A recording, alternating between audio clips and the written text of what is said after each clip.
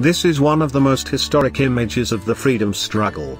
Shahid Bhagat Singh photographed on the 29th of May at the Lahore Railway Police Station, in connection with the Lahore Dussehra bombing. Who is the person sitting next to him? That is Gopal Singh Pannu SP, CID Lahore, at that time. Little did Pannu know that this image will go on to vouch for the legends of Bhagat Singh. Bhagat Singh dreamed of growing guns in the fields to battle the British occupying his motherland. But, it was the Jallianwala Bagh massacre that really set fire to his soul. When he bombed the Central Legislative Assembly he didn't try to run or hide. Instead, he asked for a public trial where his voice could be heard. Now, here's a lesser known fact about him. Bhagat Singh was a passionate poet who wrote four books while in jail.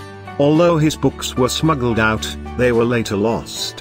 What survived was a diary that the young martyr kept in jail, full of notes and poems. Lovers, lunatics and poets are made of the same stuff. Verses like this make Bhagat Singh,